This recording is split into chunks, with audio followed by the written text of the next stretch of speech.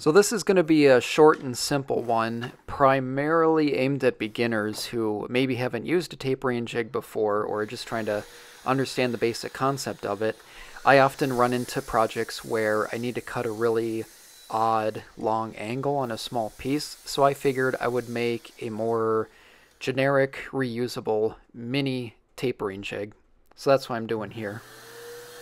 For the miter bar, I'm using these plastic ones I bought on Amazon. I'll have a link in the description for these, but you can use plywood. It just takes a little more effort to fine tune to fit your miter slot.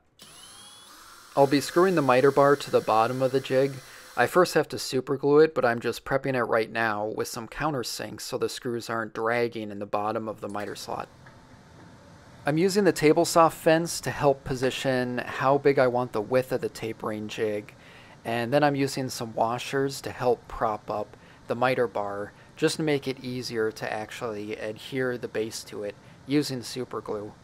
And now the super glue isn't the permanent solution to attach it, it's just to get it temporarily attached strong enough so that I can add screws later. Something you'll notice here is the base of the jig reaches further than the blade.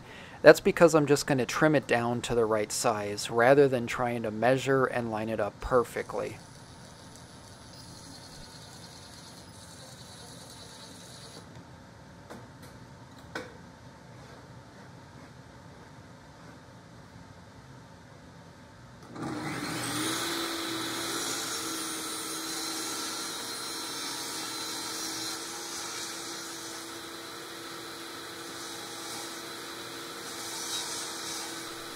I'm adding these toggle clamps and these are just going to be fixed permanently in one position on the jig.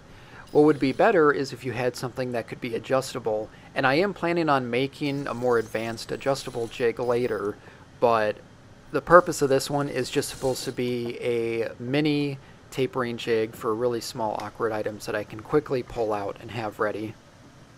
So to test it out I have this small rectangular piece that I'll be cutting nearly corner to corner just to show how well a tapering jig works when you need to make these really awkward cuts, especially when you need something super accurate.